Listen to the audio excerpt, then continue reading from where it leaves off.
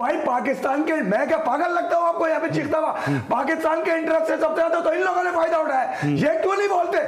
ये क्यों शादी शो में शामिल होते हैं? ये क्यों झूठ बोल रहे थे लोगों से कि बाबर घंटे का किंग है इसको आईसीसी ने नंबर वन रखा हुआ है। अबे यार क्या कौन सा आईसीसी का नंबर आज पूरा पाकिस्तान कह रहा है कि टॉप ऑर्डर के काबिल नहीं है। और अब पहले से ये बात कर रहे हैं। नाक कटवा दी इसने पच्चीस करोड़ की संभावे से हार के यार किसी बड़ी टीम से हार जाते तुम। मैच से ड्रॉप कर दिया जाता है वो आईसीयू से निकाल के उसको तुम खिला रहे हो और वो भी सेमीफाइनल इतना बड़ा यार। हाँ। और आपके पास ऑप्शन में कौन बैठा हुआ है? आपका बेहतरीन कप्तान जिससे चैंपियंस ट्रॉफी में आपको जिताया हुआ है। ये लानत लेने के लिए बाबर आज़म गए थे अपनी टीम को ले वहाँ पे 25 करोड़ पाकिस्तानियों की नाक कटवा दी। इनकी अकाउंटेबिलिटी करो। मैं पहले भी कह रहा था कि ये रीजनल टीम है ये नेशनल टीम नहीं है। बताइए जिसमें कौन जिसमें पूरे पाकिस्तान की नुमाइंदगी नहीं है जो किसी अंदाज से देखा नहीं जाता। कभी रोहित नजीर को खिला लेते हैं कभी हारिस को लेकर आ गए कभी हामिद जमाल को लिया है। अब पता नहीं कौन कौन से घंटे पकड़ के खिला देते और ये आपके फॉर्मर क्रिकेटर टीवी पर बैठकर खुले हम बोल भी नहीं सकते यार। इनके कौन से मफाद जुड़े में कहाँ से लेकर आ गए पाकिस्तान क्रिकेट को?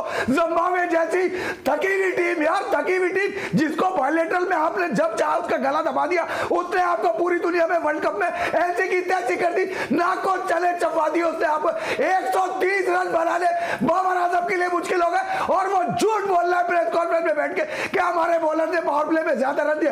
अबे 130 रन तुझे बना के दिए थे तेरे बॉलर ने। उसको भी नहीं कर पाए। दोनों भाई मिलकर रिजवान बाबर पचास पचास कर सकते थे। डिसअपॉइंटिंग यार। मैं पहले भी कह चुका था कि पाकिस्तान इस हफ़्ते पाकिस्तान वापस आ जाएगी और अगले हफ़्ते इंडिया वापस आ जाएगी। वो भी सेमीफाइनल खेल के वापस आ जाएगी। वो भी कोई इतने वो तीस मार खान नहीं है। और हम तो बिल्कुल ही, माशाल्लाह। तो दोस्तों, आपने ये छोटा सा क्लिप देखा, मैंने शोएब अख्तर का करंट का क्लिप लगाया, एक 2015 का क्लिप लगाया। आप माने ना माने, इनका ये रोना कई सालों से सेम है। इनकी वर्ल्ड कप में टीम अगर अच्छा कर दे तो बहुत अच्छी बात है। ये वर्ल्ड बीटर है, ये वो हैं, ये ये हैं। फलाना ठिकाना इस तरीके की बात करते हैं ये लोग। बट जैसे ही हार जाए तो फिर कैसा सिलेक्शन कोई सिलेक्शन नहीं एवरेज सिलेक्शन वही के वही वही के वही वर्ड आपको मिलेंगे, जो मतलब ये पिछले लंबे समय से यूज़ करते हुए आ रहे हैं। पाकिस्तान की ये टीम है ना, ये टीम अभी न्यूजीलैंड को न्यूजीलैंड में हरा क्या ही ट्राई सीरीज़ में।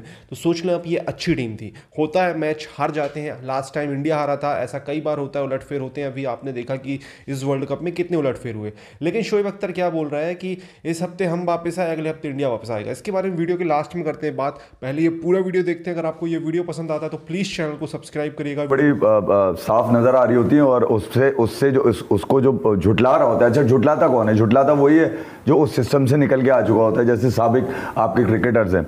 अच्छा मैं खास तौर पे इनकी बातें इसलिए सुनता हूँ क्योंकि ये लोग जो हैं पाकिस्तान को सर्व कर चुके हैं। इवन जैसे तोसीफ भाई ने कहा कि ऑपरेशन क्लीन अप तोसी भाई ने ये कहने में लेट कर दिया है हम्म। तोसी भाई भी शायद इसी बात का इंतज़ार कर रहे थे कि इनके बड़ा लग जाए ठीक है उसके बाद देखूँ अच्छा दूसरी अहम बात ये कि मैं झंडे और डंडे से नहीं देखता भाई क्रिकेट को हम्म। हम्म। मैं क्रिकेट को क्रिकेट के अंदाज से देखता हूँ इसलिए जरा मैं जरा बयान मुख्तलिफ़ करता हूँ मैं ये जो आप जिसको आप अपसेट कह रहे हैं ये माइंड सेट की शिकस्त है ये वो अप्रोच है ये वो अप्रोच है जिसको साल भर पहले क्लियर कर देना चाहिए था आईसीओ से निकल के हाँ। यहाँ जरा सी घुटने की तकलीफ़ में आदमी मैच से ड्रॉप कर दिया जाता है वो आईसीओ से निकाल के उसको तुम खिला रहे हो हाँ। और वो भी सेमीफाइनल इतना बड़ा यार। हाँ। और आपके पास ऑप्शन में कौन बैठा हुआ है? आपका बेहतरीन कप्तान जिससे चैंपियंस ट्रॉफी में आपको जिताया हुआ है। ये लानत लेने के लिए बाबर आज़म गए थे अपनी टीम को ले वहाँ पे पच्चीस करोड़ पाकिस्तानियों की नाक कटवा दी। इनकी अकाउंटेबिलिटी करो। मैं पहले भी कह रहा था कि ये रीजनल टीम है ये नेशनल टीम नहीं है। बताइए जिसमें कौन जिसमें पूरे पाकिस्तान की नुमाइंदगी नहीं है जो किसी अंदाज से देखा नहीं जाता। कभी रोहित नजीर को खिला लेते हैं कभी हारिस को लेकर आ गए कभी हामिद जमाल को लिया है। अब एक पता नहीं कौन कौन से घंटे पकड़ के खिला देते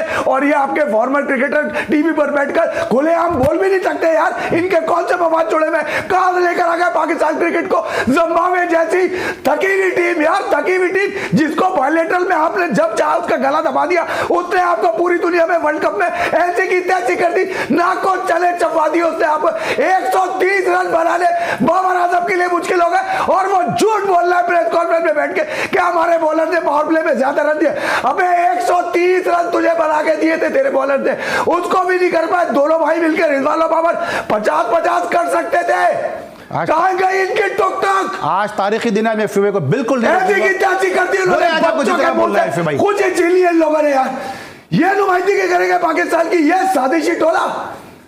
है जिन्होंने जिनको बना के दिया सरफराज ने उसके खिलाफ इन लोगों ने गेम बनाया उसकी ऐसी की तैसी करके उसको बाहर कर दिया।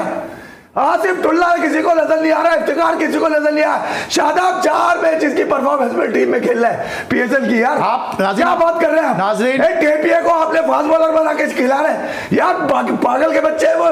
जो डोमेस्टिक में चार चार पाँच पाँच साल जो है अपने जाया करके वो उन्होंने क्रिकेट खेली है। इस तरह आप किसी को भी खिला दे यार। कमाल है यार अपने पाकिस्तान की क्रिकेट को आपने इतना कंगला समझ लिया ये रिप्रेजेंट करेंगे पाकिस्तान को यार।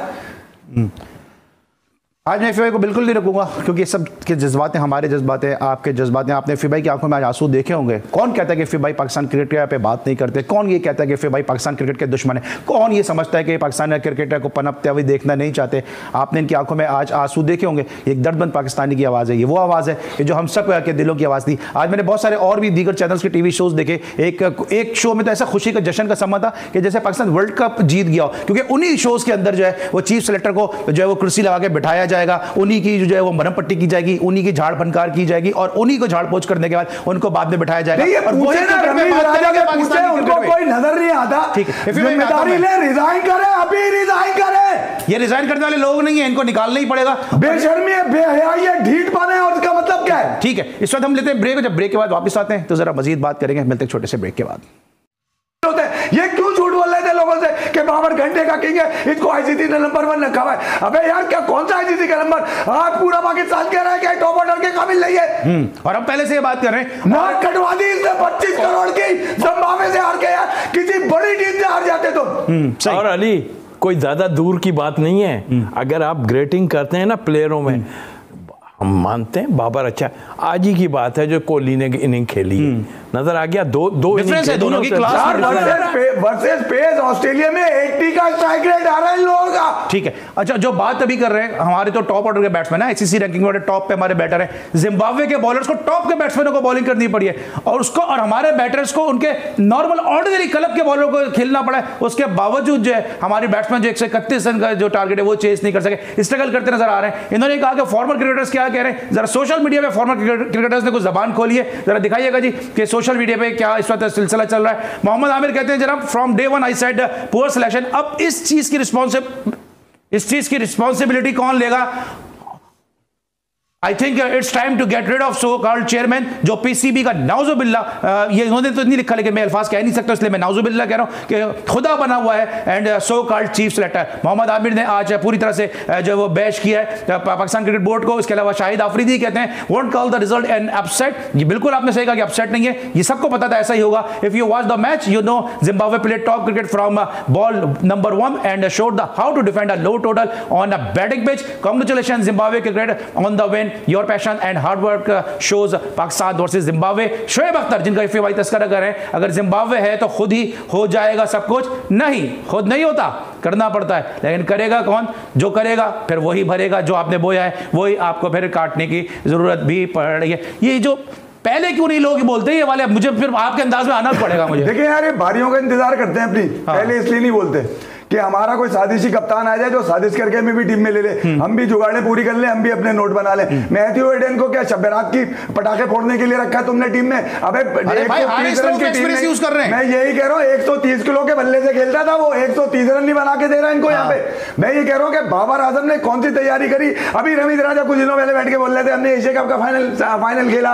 हमने ये किया हमने वो किया हमने यहाँ पे न्यूजीलैंड के अंदर ट्राई नेशन जीत ली। अबे अगर जीत ली थी तो फिर ये तुम्हारे लिए तो आसान हलवा होना चाहिए था ना भाई। कम से कम मुकाबला तो होता और ये तो मुकाबले की टीम ही नहीं थी यार। चलो इंडिया से तो मैंने मान लिया कि विराट कोहली एक्सपेक्टर नज़र आया। उसके कंधे के पीछे तुम लोग छुप गए कि सबने छुपा लिया अपने पीछे।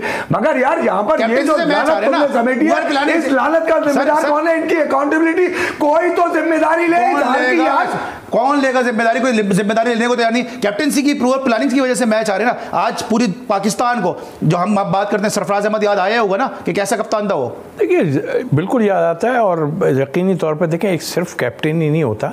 साथ कुछ प्लेयर ऐसे होते हैं सीनियर जो सपोर्ट करते हैं और मिलजुल के हमारे टाइम में भी होता है अपनी जगह बट आप तो डिसीज़न ही जो ले रहे हैं कि कीपर को पीछे खड़ा कर देना इतनी शादाब। को आज भी सैदर अली से ऊपर भेज दिया। अब मुझे हैरत क्यों तो खिला यही रहे है हैं? ही नहीं है। ये चीज़ें तो मामूल बन गई हैं और इसका कोई अब आप मुझे बताएँ Logic भी नहीं है। क्या वो जो है यूसुफ भाई हेडन पे डाल देंगे मैं हाँ, तो था ही नहीं हेडन ने आन के सिखाया है ने और ये ये है मैं मेरा क्या कसूर मैं तो बैटिंग कोच था लेकिन हेडन आ गए हाँ। तो इसलिए हो तो भाई छोड़ दो अगर हेडन आ गए या आपको नहीं आ रही समझ तो शान चवालीस मार गया वरना ये सौ के अंदर आउट हो जाते और है। जिल्लत करवा देते बिल्कुल सही बात है भाई उसमें भी कह रहे हैं लोग देखिए ओपनर को फिर भी इतना नहीं करा थोड़ा थोड़ा बोले मैं सुन रहा था वकार साहब को हाँ। अभी वो थोड़ा थोड़ा बोल रहे थे और कहने लगे वो देखें हाँ ये स्ट्राइक उन्होंने 48 किए छः ओवरों में हमने 28 किए एक बात और नहीं मुझे ये बता दें कि यार आप एक खिलाड़ी को आईसीयू से निकाल के खिला देते हैं। हाँ। ठीक है ये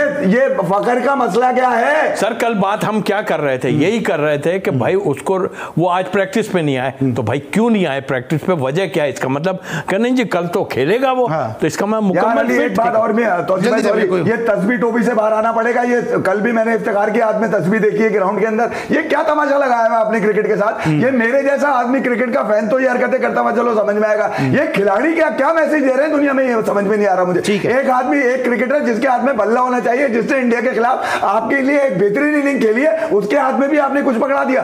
यार ये किस तरफ़ लेके जाना चाह रहे हैं क्रिकेट हम्म। को? मैंने- इस चीज़ से बाहर लेकर आए भाई। मैंने प्रोग्राम की इब्तिदा में कहा था कि हम दुआओं को तोफैल जो है वो कब तक जीतेंगे। परफॉर्मेंस कब होगी दवा कब होगी कंसिस्टेंसी कब होगी जो हमारे चेयरमैन रमीज राजा साहब को नज़र आ रही है। आप फॉरन कोचेस को लेकर आ रहे हैं और मज़े की बात यह कि जो आपका नया जो डोमेस्टिक का सेटअप है उसमें जो रीजन के कोचेज है वो टीम की सिलेक्शन कमेटी के मेंबर हैं। तब आपकी टीम जो है पॉल फ्रैंक्स और पॉल निक्सन सिलेक्ट करेंगे। रमीज राजा साहब चेयरमैन सिलेक्शन कमेटी साहब कुछ तो होश के नाखून लें क्योंकि आपकी ये पॉलिसी एक और जुगाड़ी एक और जुगाड़ी इन्होंने सिंध क्रिकेट का सीओ लगा दिया। मुझे समझ में नहीं आता भाई ये क्या चल रहा है। किसको मतलब लगाया? दोस्ती यारियाँ चल रही है। किसको लगाया? महमूद हामिद जो आपके पास बैठते थे अक्सर यहाँ पे। यार मतलब आपने सिंध क्रिकेट पूरी उसके हाथ में दे दी। सिंध का लड़का खिलाने के लिए आपके कप्तान राज़ी नहीं है। आपने सिंध क्रिकेट उठा के एक आदमी को पकड़ा दी। मतलब भाई क्राइटेरिया भी रखे ना यार। अखबार में टेंडर करें मालूम तो करें कि पाकिस्तान में कौन कौन है?